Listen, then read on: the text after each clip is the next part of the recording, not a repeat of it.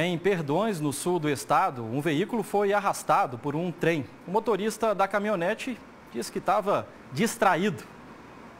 O trem e a caminhonete surgem na rua quase que no mesmo instante. Mesmo com a aproximação da locomotiva, o motorista da caminhonete tenta passar, mas é atingido. Com o impacto, o veículo é arrastado. Por pouco não atinge uma motociclista que está parada do outro lado da via. Em contato com a polícia, fomos informados que o motorista contou que se distraiu.